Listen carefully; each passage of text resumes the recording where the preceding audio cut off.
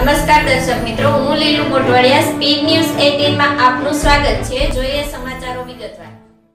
આજરોજ રાજકોટ જિલ્લાના ઉપલેટા તાલુકા નજીક આવેલ જામજોધપુર તાલુકાના અમરાપરા ગામની સીમમાં આવેલ સબીરભાઈ સિદ્દીકભાઈ સીડા નામના ખેડૂતની વાડીમાં આવેલ પચાસ ફૂટ પાણી વગર ઊંડા કૂવામાં દસ ફૂટ લાંબો અજગર ખાબક્યો હતો જે જામજોધપુર ફોરેસ્ટ વિભાગને જાણ કરતાં તેઓ દ્વારા રેસ્ક્યુ થઈ શકે તેમ ન હોવાથી ઉપલેટાના લીલું લુંગીડી અને બીમાર ગાયોને સેવા કરતી વડચોક ગૌશાળાને જાણ કરતાં ગૌશાળાના જીવદિયા પ્રેમીઓને વડચોક યુવા ગ્રુપના જીતુભાઈ ઢોલરિયા તેમજ પચાસ ફૂટ ઊંડા કૂવામાં ઉતરી જીવનો જોખમે મૂકી રેસ્ક્યુ કરી અજગરને બહાર કાઢી જીવ બચાવ્યો હતો. ત્યારબાદ ઉપલેટા વડચોકમાં આવેલ ગૌશાળાની હેડ ઓફિસની મીઠાઈ ઘર ખાતે લાવવામાં આવેલ અને સલામતીનો ભાગરૂપે રામદેવ સુધી ભૂખ્યો તરસો પડી રહેલ હોવાથી એર કન્ડિશન રૂમમાં રાખવામાં આવ્યો હતો અને ઉપલેટાના જીવદિયા પ્રેમી સુરેશભાઈ માકડિયા, અગ્રણી એડવોકેટ દિલીપભાઈ જોશી, કચરાભાઈ માસ્તર વગેરે મહાનુભાવો ઉપસ્થિત રહી જામજોધપુર ફોરેસ્ટ વિભાગના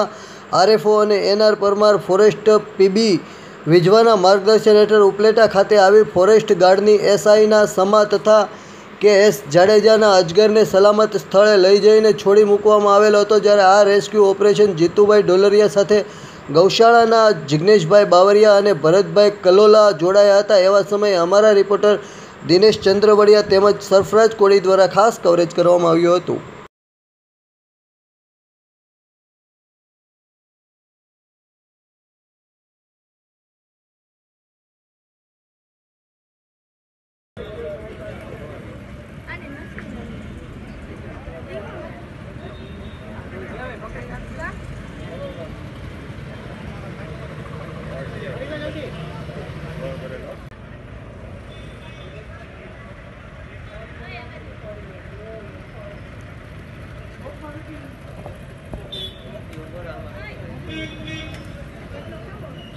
મારું નામ જીતુભાઈ ઢોલરિયા, ઉપલેટા વટચોક યુવા ગ્રુપના મેમ્બર. જે જીવદયા પ્રેમી અમે છીએ બધા.